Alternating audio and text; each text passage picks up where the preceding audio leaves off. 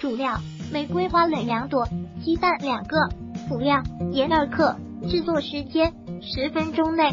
准备食材：玫瑰花瓣用清水漂净，捞起；鸡蛋打匀，把玫瑰花瓣放入蛋液，放点盐搅拌好。锅里放点油，放下玫瑰花蛋液，中火煎，翻一面煎二十秒，两面都凝固了就好了。也可以沾番茄沙司吃。烹饪技巧：如果放一点白糖煎也很好，或者什么都不放，煎好后蘸蜂蜜吃。油要放的少点。如果喜欢本视频，请分享并订阅本频道。